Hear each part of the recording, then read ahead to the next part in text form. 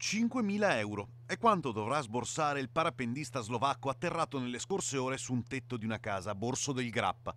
L'atterraggio di emergenza alla fine si è rivelato meno complicato del previsto e lui ne è uscito con qualche piccola escoriazione, ma, errore fatale, si è dimenticato di avvisare il centro di soccorso. Bastava una chiamata per dire che andava tutto bene. Non l'ha fatta. I residenti, vedendo la scena, hanno avvisato immediatamente il 118 che ha mandato l'elicottero. L'amante del volo libero che si è rifiutato di farsi medicare per questa dimenticanza si troverà a sborsare una cifra considerevole.